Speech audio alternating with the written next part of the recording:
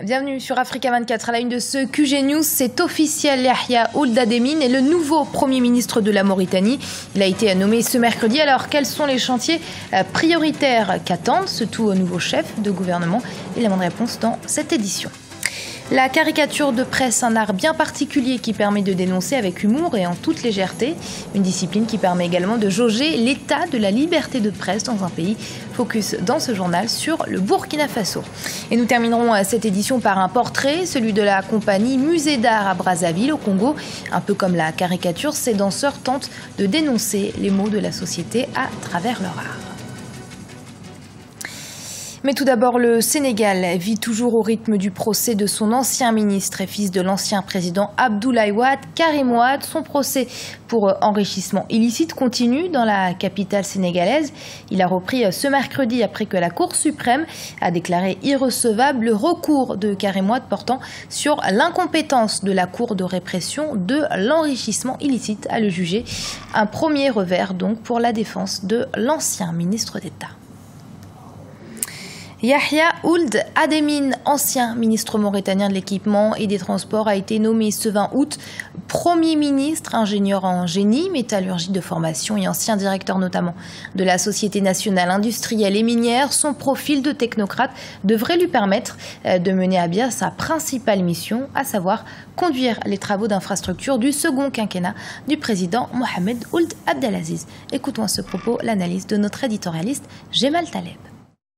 La nomination d'Ayah al-Hademin comme nouveau Premier ministre mauritanien aura sans doute euh, beaucoup de signification puisque le programme annoncé par le président de la République nouvellement réélu euh, pour euh, son nouveau quinquennat est assez important puisqu'il y a des défis considérables, notamment sur la jeunesse et la femme. Le président de la République, Mohamed Abdelaziz, a placé son nouveau mandat sous donc le signe de la lutte en faveur donc du renouvellement de la classe politique, économique et notamment euh, en faveur des jeunes. Donc ce sera sans, doute parmi les défis importants que le, nouveau Premier ministre Al-Hademi devra donc relever. Il, est bien entendu que cela ne se fait naturellement pas à l'encontre de l'ancien Premier ministre qui lui aura passé six ans comme Premier ministre et bénéficié d'une grande confiance du président de la République, là encore. Enfin, il aura passé six ans et là, Yahya Al-Hademi prend le relais pour encore une fois de nouveaux défis importants Toujours en Mauritanie, la troisième session ordinaire du Conseil des ministres de l'Agence panafricaine de la Grande Muraille Verte a commencé ses travaux ce mardi à Nouakchott, la capitale mauritanienne.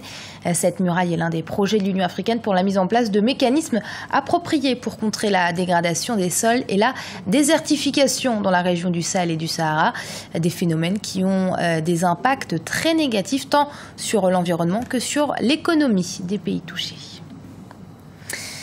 Au Gabon, l'opposant Jean Ping était ce mardi l'invité des habitants du 5e arrondissement de Libreville. Venu consulter la population de la capitale, il entend bien imposer une alternance politique avant l'élection présidentielle de 2016.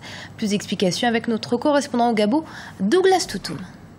Jean Ping à la rencontre des populations du 5e arrondissement de Libreville. Une démarche qui s'inscrit dans le cadre des consultations avec les populations gabonaises. Rencontrer, écouter en vue d'élaborer une stratégie pour réussir l'alternance politique au Gabon. Pour l'opposant politique, une alternance s'impose après plus de 45 ans de gestion du pays par une seule formation politique. J'ai été invité par euh, des responsables de cet arrondissement qui voulaient m'entendre directement. Des questions ont été posées concernant le projet de société que nous envisageons de mettre en place. Euh, beaucoup d'autres questions ont été posées. Les élections 2016, on va tricher, qu'est-ce qu'il faut faire?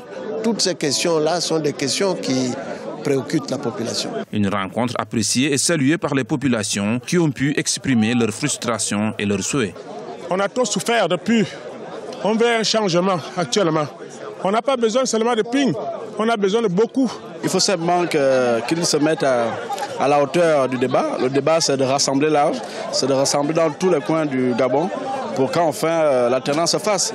La rencontre entre Jean Ping et les populations du 5e arrondissement a eu lieu en plein cœur d'un quartier populaire précaire. Elle intervient dans un contexte social, économique et politique difficile, avec entre autres les différentes grèves observées dans les secteurs de l'éducation et de la santé. Nous sommes dans une situation où le peuple souffre le peuple est pauvre. Et pendant que les responsables accaparent les ressources du pays, Nous sommes donc avec le peuple dans cette souffrance-là. Zamping entend changer le système à travers une stratégie qui reste à définir avec l'ensemble de l'opposition gabonaise, reposant entre autres sur la consultation et la fédération de ses acteurs autour d'un combat commun. La caricature de presse drôle, étonnante, légère, elle permet surtout de dénoncer certaines pratiques des acteurs politiques. C'est en ce sens que pour beaucoup, la caricature de presse est en quelque sorte le baromètre de la liberté de la presse dans un pays. Alors qu'en est-il au Burkina Faso? Élément de réponse avec ce reportage de la rédaction.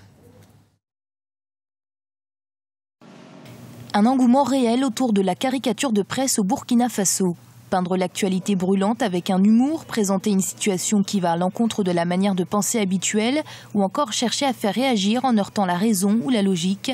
Voici entre autres le rôle des caricaturistes de presse. À l'aide d'un stylo ou d'un clavier, ces artistes croquent des personnalités politiques, économiques, mais aussi des anonymes.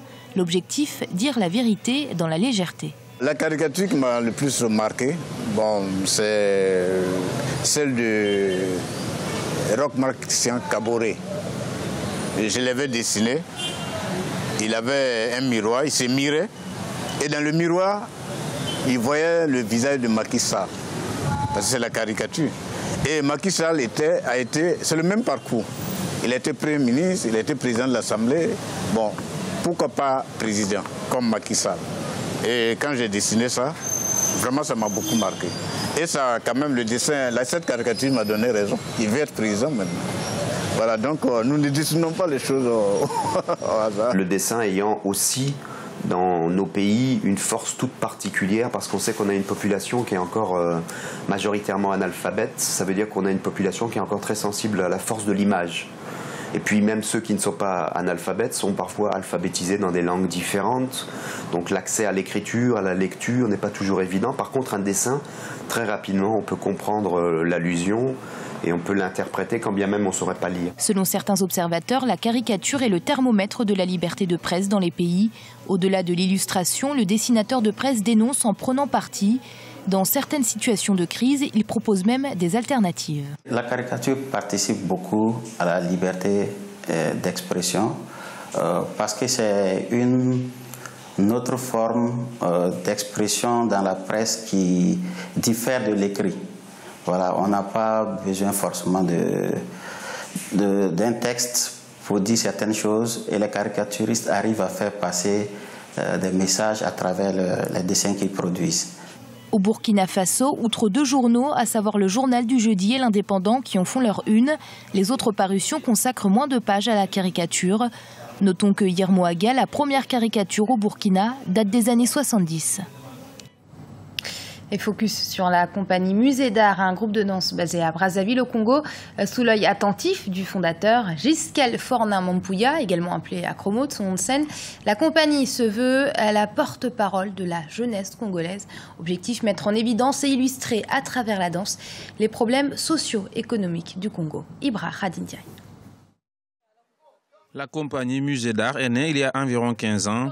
Aujourd'hui, elle est composée d'environ 50 jeunes qui partagent tous la même passion, la danse.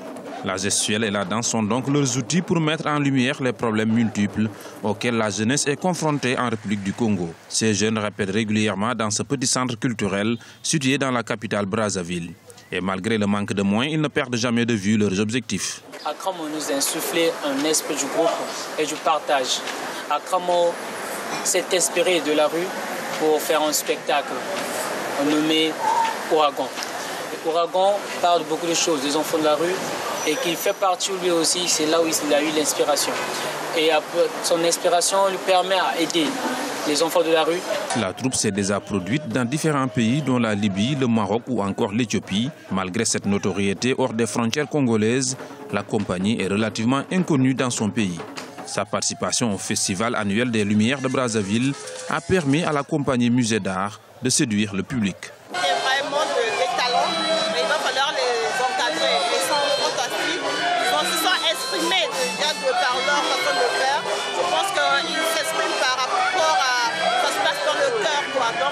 quelque chose qu'ils aiment le plus fort. Tout ce qu'on peut leur demander, c'est les encadrer. Pour l'heure, la troupe se produit essentiellement au cours d'événements familiaux comme les mariages ou encore lors de la célébration de baptême, dans l'espoir de gagner en notoriété pour s'attaquer par la suite au reste du continent.